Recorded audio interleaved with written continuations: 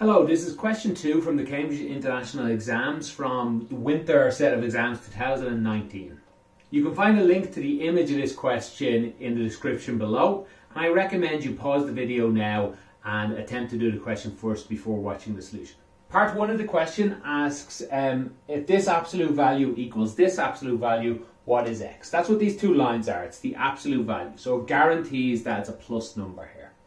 So it's very difficult to work with um, these, these absolute values. So let's write it out without this. That would be great. That would be easy to do, except it's not true because the absolute value says this is always plus. I don't know if this is plus. If x was minus 100, this would actually be minus, whereas this would still be plus.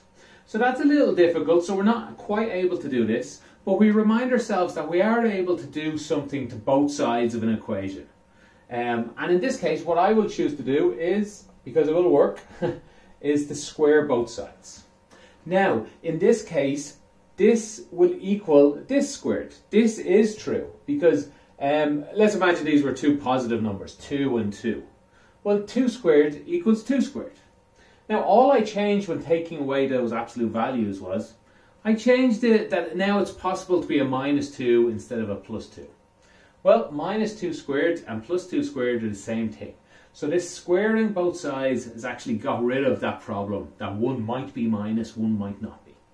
So let's uh, try and solve this question now. We'll just square out both sides. Uh, the left side will come out as uh, 16x squared plus uh, 5 4x's uh, plus 4 5x's are uh, 20 plus 20 are 40x plus 25. And on the right side, um, this is x squared. Minus 7 um, is minus 14x. And then plus 49. So let's clean all this up. Uh, we'll take everything on the left side, we'll keep the x squares positive. We don't have to, but I like that better. So let's take this from both sides. We'll get 15x squared um, we'll add this to both sides. We'll add 40 and x to both sides. We'll get 54x. And uh, we'll take uh, this number from both sides. And 25 minus 49, I believe, is minus 24. That equals 0. Uh, what goes into all of them? I think 3 will. Let's see if we can make this a little smaller. Um, x squared plus 3 goes in 18 times. Double check this with a calculator. If you're not good at doing this sort of thing in your head, I've got lots of practice at it. Uh, goes in minus 8 times. I still make mistakes.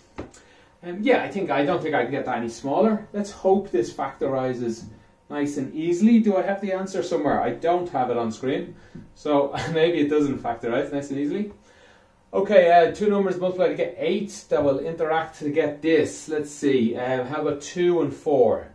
2 and 4. No, not quite. Oh yeah, 2 and 4. This is actually a minus, so we need to, the difference here. So a 4 here and a 2 here will work. I think 4 times 5 is 20. Minus 2 will get us to 18. So that's a minus and that's a plus. I think that works. This all equals 0. That implies that 5 is equal to 2 over 5. X, I mean. X is equal to 2 over 5.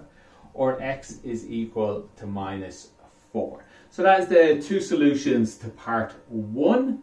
Um, let me rub this out and we'll start in part two. I actually left the answer from part one up here because we're going to use that because um, part two looks very difficult. We could do the same, a similar type of way. We could square both sides. But the thing is, we've already done all the hard work because this looks a lot like this. And um, in fact, if we replace um, x as to be equal to 2 to the power of y, this will start looking very similar. This is the same as this, 7, 7, 5 and 5. This is the only one slight problem, uh, but it's not as big of a problem as we might think. Um, so because we take, let's just take this one down here and have a look at it. Plus 2. Remember what the plus 2 means? That's 2y um, multiplied by 2 to the power of 2.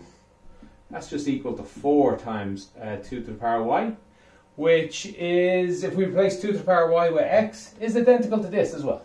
So this sum is actually identical to this sum. But instead of getting an answer for x, we would actually get 2 to the power y is equal 2 over 5, or we'd get 2 to the power of y is equal minus 4. Now, this second one gives us a little problem in that 2 to the power of, well, there's nothing, 2 to the power of um, anything doesn't, will never give us a minus 4. There's no number that'll give us that. Uh, once when y gets bigger, like goes from 0 up bigger, like 2 to the power of 1 to power 2 to power 3, the number will get very big. And when it's a minus number, 2 to the minus 1 is a half, 2 to the minus 2 is a quarter. It will always get smaller and approach 0. Uh, if we look at a little screen there, um, let's see, it will look like this. It will approach 0, but it will never get down here into the minus 4 world. So this will ever, actually never happen. So we can ignore that possibility.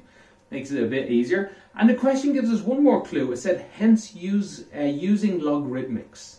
So we want to use logarithmics, um, I can't pronounce the word, I apologize, um, to solve this. So how do we do that? We just need to get rid of this 2, and logarithmics do that. If we take a log to the base 2, 2 to the power of y, and to be fair, we have to do that to both sides, log to the base 2, 2 to the power of uh, 2 over 5.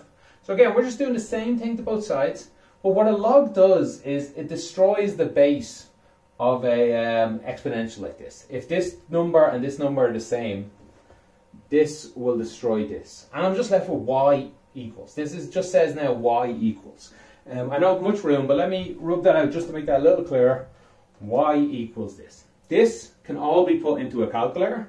And with the magic of editing, it has appeared in my hand. Um, if I type in log to the base 2, and inside the bracket 2 divided by 5, and I hit equals, I will get um, this number y must be equal to minus 1.32.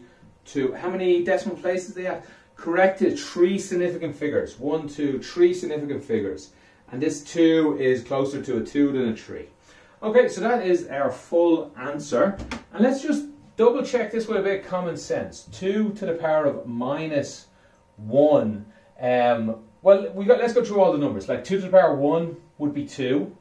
This guy is less than 1. 2 to the power 0 is 1.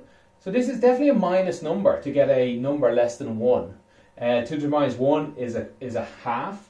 2 to the minus 2 is a quarter. This number is somewhere in between that. So that's why we got 1.32. Alright, so that's um, both parts. If you have any questions about any of that, please write in the comments and I'll do my best to answer them. Thank you for watching have a good day.